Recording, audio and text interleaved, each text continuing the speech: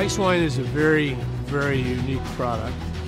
We leave the grapes naturally frozen on the vine by law. The freezing process of freezing and thawing contributes to the concentration of sugar, acid, and the ideal balance is the secret. It gives you that sensation in the palate. So you get a rush of sugar when you drink it, and then the acidity cleanses your palate. It's ready for some food like foie gras or something exotic. The region itself is really defined by the Lake Ontario, which is one of the Great Lakes, very deep, and the escarpment, which create this microclimate. So we get very hot summers, so we get ripe fruit. But then in the shoulder season in December, January, temperature drops off dramatically.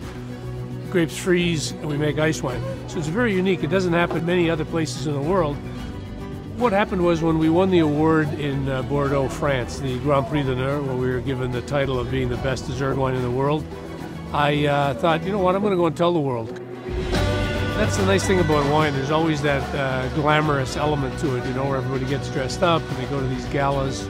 You want to savor all of the different aromas and the flavors that really are translating the terroir, the region that we live in, and it expresses the character of the region itself, along with the varieties that we use in the case of ice wine, Riesling, Vidal, and Cab Franc.